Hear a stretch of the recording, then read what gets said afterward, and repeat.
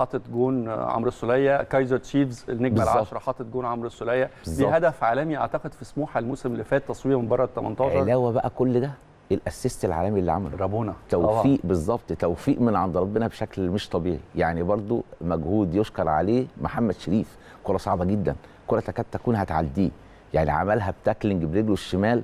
موقف صعب حتى للمهاجم. أيوة. إنما نيجي لعمرو السولية توفيق ربنا اداله حتى إن هي سجلت هدف عشان ما تعديش مرور الكرام تكتيكيا يا كابتن جمال آه، شيء يحسب لمستر موسيماني ولابد الحقيقة إنه الناس تنصفوا فيها تشيل بيه دي حقيقة آه، آه، كتير من الناس كانت معترضة على فكرة إنه الأهلي بيلعب بثلاثة ديفندرات يعني هم بيعتبروا حمدي والسولية و- و- و- وديانج وديانج. لعيبة لعيبة نص ملعب يميلوا أكتر ل-. للناحية الدفاعية مع اربعه مدافعين already فده معناه في الأهلي. بيلعب بسبعة مدافعين. لكن الحقيقة الموسم ده أثبت إنه حتى مع الطريقة دي اللي تبدو إنه تشكيلها بيغلب عليه النواحي الدفاعية الأهلي حاطط مسجل في ثلاث ماتشات 10 تجوال منهم أربعة في الإسماعيلي وخمسة في الزمالك ليه؟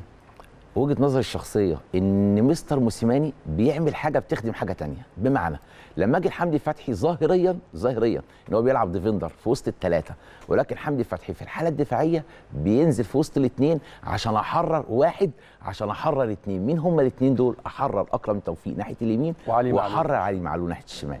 فأنا كسبت واحد قفلت جزء اللي هو أقصر طريق للمرمى عشان أنا أشتغل من الجناب. فبقوا ثلاثة زودت الاثنين دول في نص الملعب وبالتالي بقيت أربعة في نص الملعب مع ثبات على على على فرض.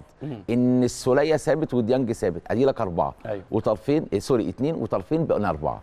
بحرر برضو جزء تاني إن أنا عندي مجدي قفشة وعندي اتكلم تحديدا عن الشكل في مباراة الزمالك. أيوه. مع إن كان في تكملة ليها مهمة جدا قبليها مباراة البنك الأهلي وقبليها مبا- مباراة الإسماعيلي. فأنا